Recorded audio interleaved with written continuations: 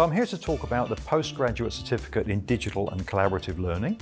I think the key thing that people learn from this program is that they can do really new and interesting things in their practice, even if they didn't really think they could.